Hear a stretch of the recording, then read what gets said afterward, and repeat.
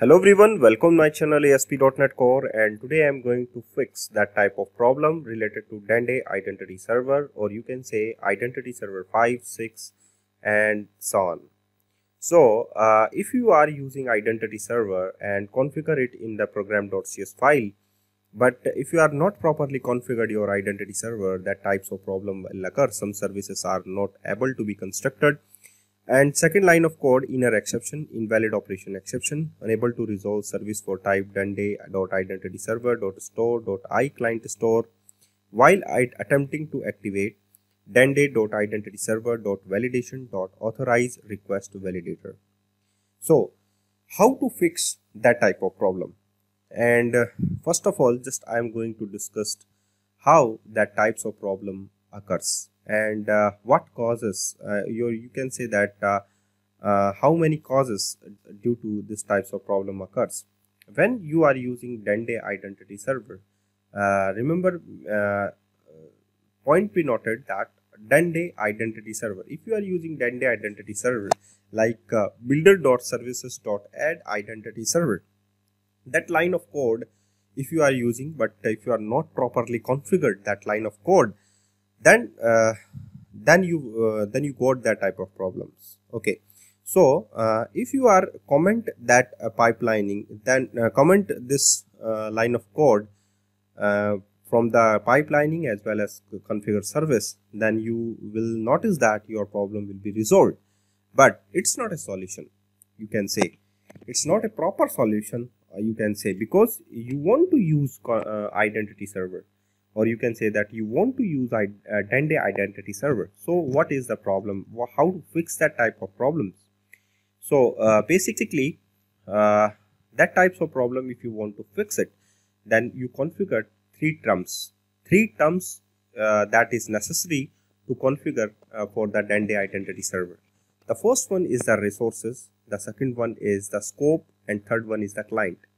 If you are uh, configure three things in a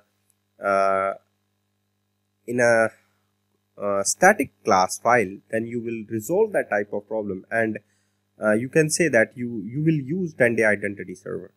So uh, first of all when you are using Duende identity server then uh, lots of uh, events are raised. And these events are you can say so first of all remove or you can say uncomment the line of code where you use Duende identity server. So builder.services.add identity server that is the configuration method and builder uh, sorry app.use identity server. So that uh, if you are not properly configured then you uh, you will receive that type of error message. So let's go to fix this error properly. So first of all uh, notice that when you are using Duende identity server then uh, lots of event raised automatically. And that uh, events are like uh, failure like success like uh, claims etc so uh, options dot event dot raise error events that is true. And not just i'm going to much more details only just i uh, i want to fix this types of error message. So so you can use Duende identity server very clearly. Okay. So wait for some times. I will uh, resolve that type of problems properly. So you can use Duende identity server in a later video tutorial and or you can say in your project. So options dot events dot raise event error events that is true. Options dot events dot raise failure events that is true. And next one is options dot events dot raise information events is also true and the next one is options dot events dot raise success event that is true.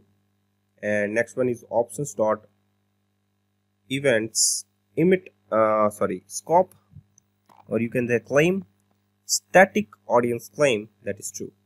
Okay. So after uh, raising that uh, that event you must to configure or you can say must to add static details file. And you can say that uh, identity details that is the type of the static. And also in in the class file you can add three things that is uh, resources that is the scope and the client. After adding the resources you can just add these resources in the program.cs file. And after configure your scope just add this configuration into your program.cs file.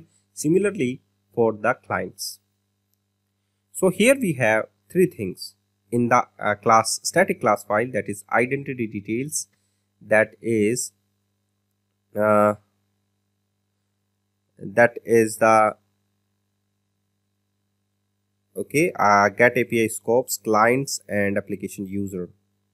So here we have add in memory identity resources. Okay so your problem will be fixed and you can use a Duende identity server properly. So just start it again and you will see that your uh, you uh, do resolve your types of error message. Thank you guys for watching this video